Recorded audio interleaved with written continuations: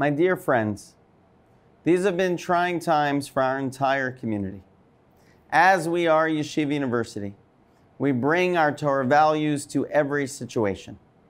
Our central value is the preciousness of life, which directs us to take every measure to protect the safety and health of our students and faculty, community, and fellow citizens.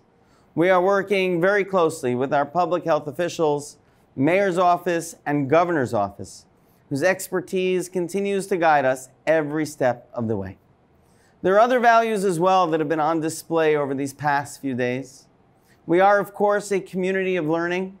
We've set up remote educational opportunities, and our studies continue even when we are not officially in session. We are a community of faith.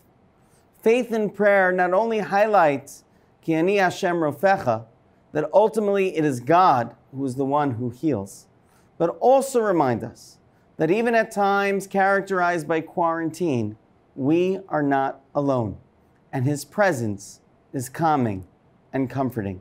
In these moments, it is especially important to turn to Hashem in prayer and keep in mind all those who are sick and who are at risk. And we are a community of kindness and compassion, especially today during times of difficulty. It is deeply touching the way our students look out for each other and the way people in our community are thinking about us and reaching out to us to help. While our university may be closed, the kindness and compassion of our community is always open.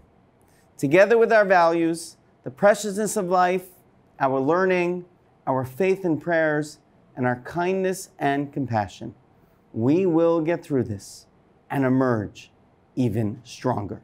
Shabbat Shalom.